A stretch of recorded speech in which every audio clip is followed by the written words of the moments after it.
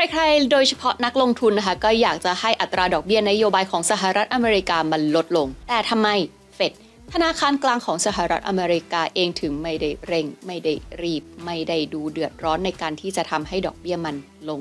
ขนาดนั้นล่ะ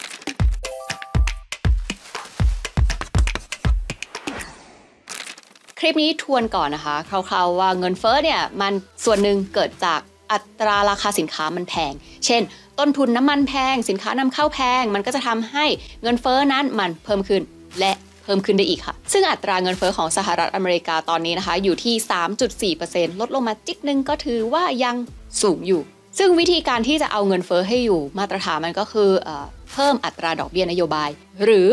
ทำให้ดอลลาร์สหรัฐมันแข็งค่าเข้าไว้ค่ะ ซึ่งสหรัฐอเมริกาทำข้อนี้ได้ดีเลยนะคะ ด้วยวิธีการกู้หรือว่าขายพันธบัตรรัฐบาลสหรัฐอเมริกาแบบถล่มทลาย โดยเฉพาะไตรมาสที่ผ่านมาคือกู้เงินไปมากถึง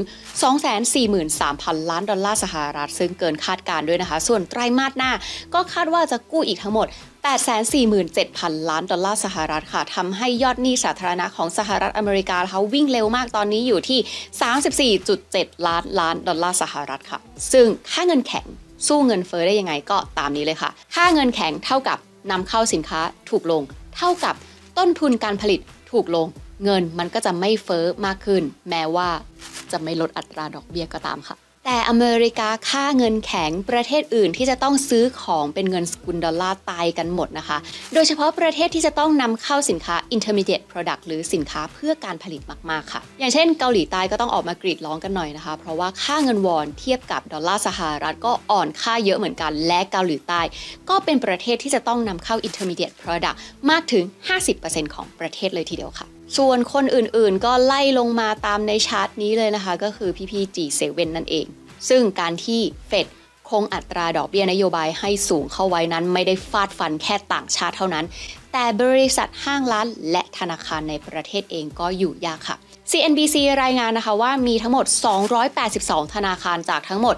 ราวๆ 4,000 ธนาคารในสหรัฐอเมริกาที่เสี่ยงล้ม เพราะอัตราดอกเบี้ยนโยบายมันสูง ซึ่งจะทำให้ลูกหนี้โดยเฉพาะลูกหนี้รายใหญ่ ๆ นะคะ โดยเฉพาะที่มาจาก commercial real estate หรืออสังหาริมทรัพย์เชิงพาณิชย์นั้น ไม่สามารถที่จะจ่ายหนี้คืนได้ แล้วหนี้ก้อนนั้นที่กำลังอยู่ในความเสี่ยง มากถึง 9 แสนล้านดอลลาร์สหรัฐ ซึ่งวงเงินนี้เองที่อยู่ในความเสี่ยงนะคะ ก็อาจจะทำให้